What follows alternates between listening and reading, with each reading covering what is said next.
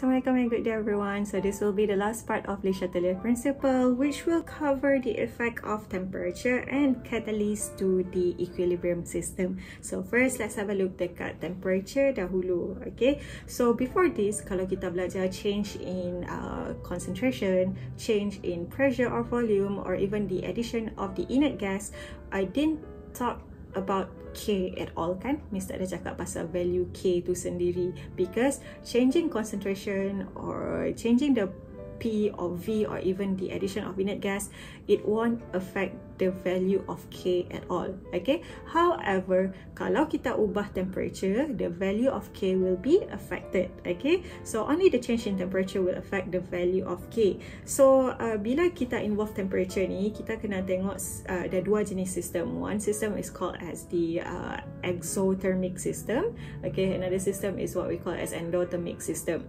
Okay. Whereby, kalau dua ni uh, lainlah apa yang berlaku. Kalau exothermic meaning dia akan release heat, sistem tu akan release heat tapi kalau endothermic sistem tu akan absorb heat okay so in this particular case class kalau untuk reaction PCl3 plus Cl2 menghasilkan PCl5 so given that this is enthalpy H equals to negative 11 kilojoule so yang penting kat sini adalah for you to notice the sign depan kita punya enthalpy value ni. Okay so enthalpy what is enthalpy later on kita akan belajar yang ni in further details next semester. Okay so negative value. So negative value indicates that this system is actually going forward, going forward, okay, from left to right, it is an exothermic punya system, okay.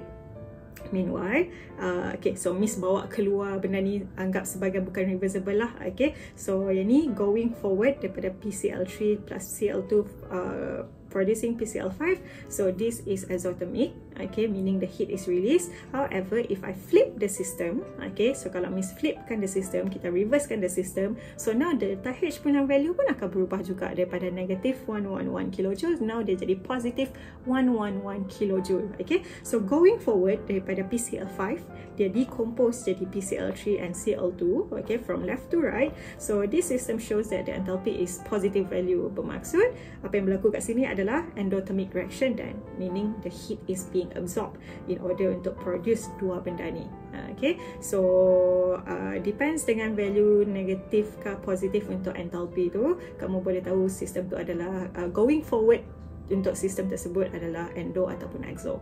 Okay. Alright, so kita fokus dahulu untuk exothermic reaction. So untuk exothermic reaction, okay, given that, so heat is being released, right? So heat is being released, so Miss letak heat ni dekat bahagian product dan, okay?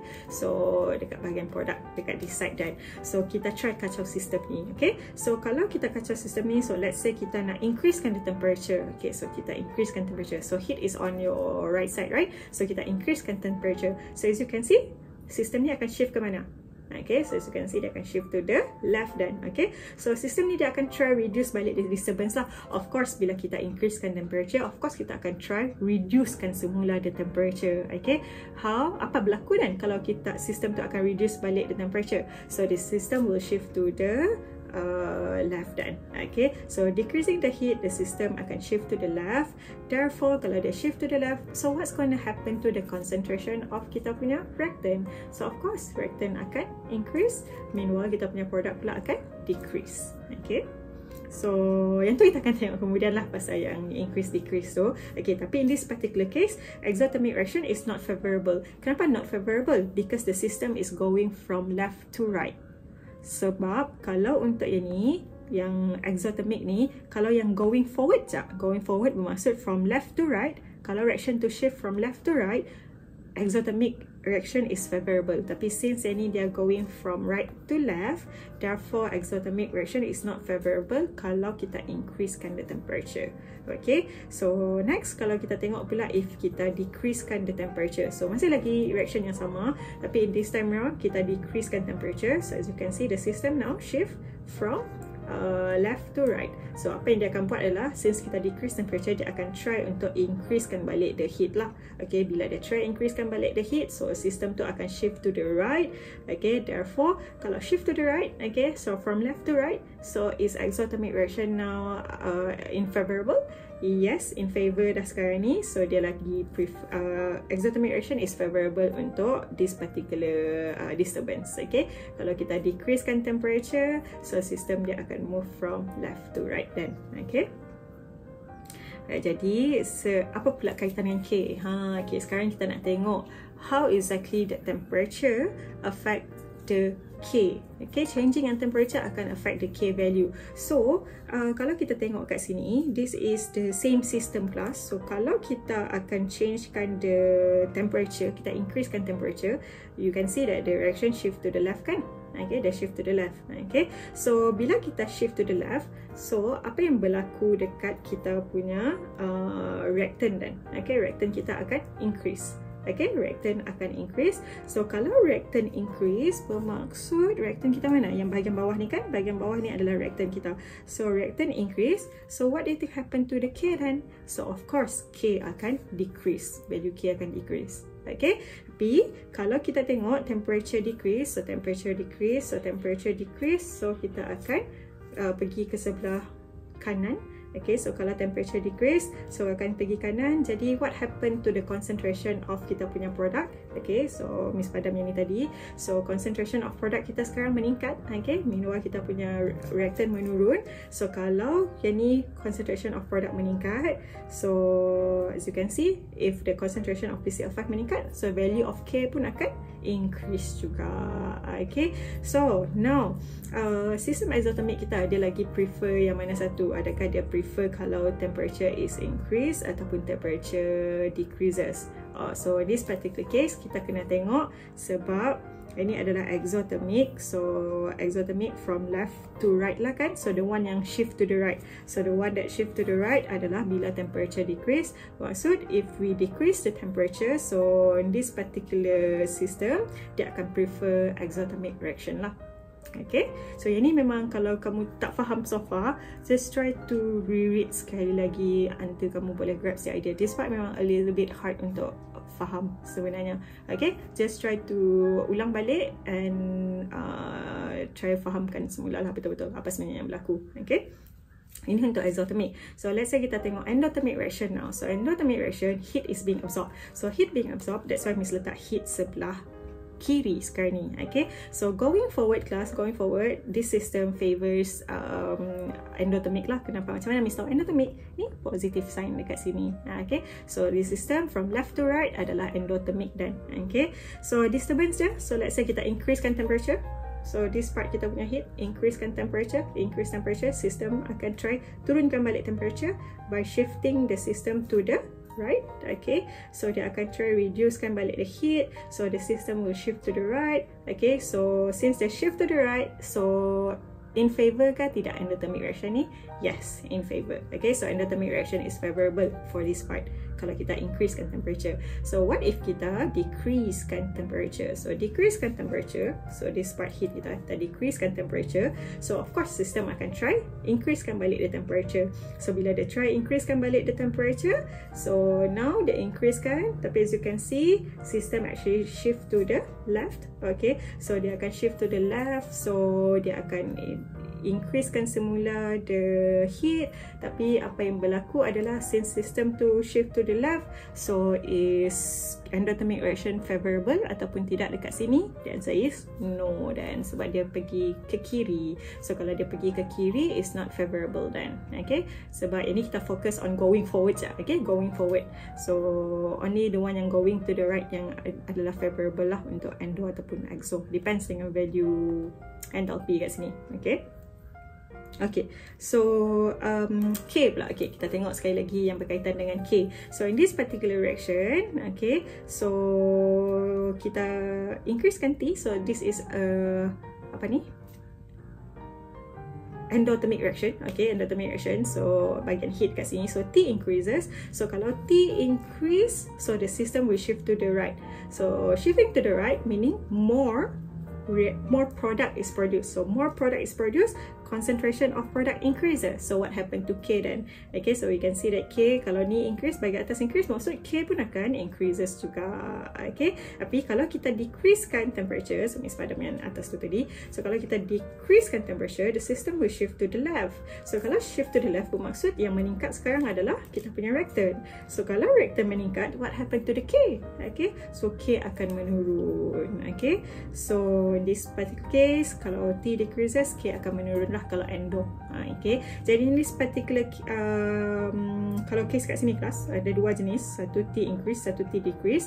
So which one favors endothermic reaction? So always tengok balik yang favor endothermic ni would be the one yang going forward lah. Going forward bermaksud going from left to right. So of course yang bahagian T increase ni. So kalau untuk endothermic reaction, kalau kita increasekan the temperature, dia akan favor the endothermic reaction lah. Okay.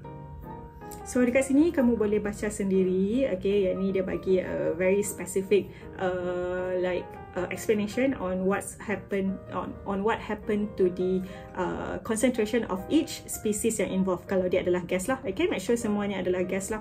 Okay ni gas ni gas ni gas Uh, so uh, ataupun aqueous solution pun diterima juga kalau untuk temperature ni. Okay? So if for exothermic dia akan bagi dua situasi kalau T increase dengan T decrease ni. So you can see lah apa yang berlaku dekat sini. Okay? And then what's happen what happened to the value of the Kc and Kp pun boleh nampak dekat sini. Okay? Satu lagi adalah untuk endothermic so you can read this on your own. Explanation there okay Uh, so now I think, uh, yes, try this ni. Okay, so how does an increase in temperature affect the shift in equilibrium position? So have a look dekat the delta H. Uh, identify first whether it is exo or endo and only then you can see apa yang akan berlaku lah when the temperature increase. Okay, so pause this video first and only then I will give you the answer. Okay, make sure that uh, how does an increase in temperature affect the shift in equilibrium? So kamu kena bagi tahu sistem tu selain daripada dia pergi ke mana ke mana bagi tahu what happened to the species especially kalau dia adalah gas ataupun aqueous saja. Whether the concentration increases ke decrease. And then what happened to K? K increases K decrease. Okay so pause the video ni I'll reveal the answer after this Okay, Miss harap kamu dah post dah. Dengan harapannya kamu dah post lah. Okay, so the answer is as below. Okay, so ni ni adalah jawapan untuk, sorry, yang K increase yang bawah ni. Ni jawapan untuk D ya. Okay, this one adalah answer untuk D. Hmm, okay, so kamu try figure out dia pergi shift to the left or shift to the right and then try to figure out what happened to the species yang ada dalam tu yang might be affected by the shifting of the equilibrium okay. And then another one 25 kat sini. Oh no. I revealed the answer already. Okay. So yeah. So just try to figure out. Oh my god. So yang ni sepatutnya dekat bahagian bawah ni. Okay, so this system adalah yang endothermic. Okay, so before tengok jawapan tu, so just try to answer on your own first lah. Okay, and only then kamu uh, tengok dia punya apa? Uh, tengok jawapan yang ada dekat sini. Okay. Alright. Okay. So that's it for temperature. Tapi kita akan tengok one last uh, factor. Okay. In terms of catalyst. Okay. So the catalyst one is very short. Okay class. So the presence of catalyst. So ini adalah uh, graph untuk activation energy untuk graph yang involve uh, yang ni tak ada catalyst. Yang ni ada catalyst. Okay kita tengoklah apa benda sebenarnya ni. So catalyst apa yang berlaku adalah kalau kita add catalyst into the system so the catalyst, the catalyst is just uh, speed up the reaction. Okay so kalau dia macam mana dia nak speed up the reaction? So by providing alternative mechanism with lower activation energy. So kalau kamu nampak EA EA dekat sini so activation energy kat sini adalah EA dalam graf kat bawah tu. Okay so as you can see EA kat sini let's say value dia adalah 2x okay so bila kita tambah catalyst so somehow catalyst tu dia akan lower down kan the activation energy. So as you can see, the one on the right side, this one is with catalyst. So as you can see, um, mungkin half lah, misalnya half je. So value kat sini adalah X now. So it lowers down the uh, activation energy. So bila dia lowers down the activation energy, so what happen is uh, the rate of forward and reverse reaction increase. Okay, uh, so it shorten the time taken to reach equilibrium. So itu je effect dia sebenarnya. So the catalyst it speeds up the reaction. So it shorten the time taken to reach equilibrium. So sama ada sistem tersebut akan shift to the left to the right? No, tak ada sebenarnya. Dia tak bagi effect pun. Okay, uh, dia cuma pendekkan je masa untuk uh, daripada reactant produce product, product produce reactant. Okay. And remember that, but, but remember, but remember, so the catalyst, it has no effect to the equilibrium position. Okay, so macam Miss cakap tadi, kalau tambah catalyst tu, uh, sistem takkan uh, berubah dia punya equilibrium. Okay, meaning tak perlu untuk shift ke kanan ataupun shift ke kiri. At the same time, it doesn't affect the value of K. Uh, okay, bermaksud dekat sini, bila kita tambah uh, catalyst, concentration ke, pressure ke, semua tu takkan berubah sebenarnya. It doesn't has, it doesn't have any effect to kita punya sistem equilibrium. The only thing yang dia buat adalah ni bahagian hijau ni. It shorten the time taken to reach equilibrium. Okay, bila kita tambah catalyst by uh, providing alternative uh, pathway uh, in lowering the activation energy. So initially kalau ini tak ada catalyst, yang ni apabila tak ada catalyst, dia rendahkan the EA. Okay, so that's it for catalyst actually. Okay. Alright, so in conclusion class, um, kita tengok balik setiap satu faktor yang ada. So concentration, adakah reaction akan shift kalau kita kacau? Yes, but does it affect the value of K? No. Uh, meanwhile, pressure pula, again, yes kalau kita tukar pressure ataupun volume dia akan affect the system okay unless number of mole sama yang tu lain cerita ha okay tapi adakah dia akan affect value of k uh, no juga meanwhile what about temperature adakah reaction akan shift? Yes dia akan shift. Adakah dia akan affect the value of k? Yes dia akan affect juga value of k. So temperature je the only one yang akan affect the value of k. Okay? And then what about catalyst? Adakah reaction akan shift? No. Okay adakah dia akan affect the value of k? No juga. Apa catalyst ni buat? It just shorten the time for the reaction to reach equilibrium. Itu sahaja. Dia tak akan kacau sistem tu kiri kanan ke tak, tak, tak ada. Okay, alright, so that's it. So I think untuk ini kamu boleh ada dua lagi try this question yang kamu kena try. So yang ni adalah um, like uh, dia gabung semua factor so try and have a look lah daripada concentration sampailah catalyst. So try to answer this. Ini Miss tak bagi jawapan lah. We will discuss this in our class later. Okay? And also try this 27 try uh, dua soalan ni Miss tak bagi jawapan. Okay. Right so that's all class. Bye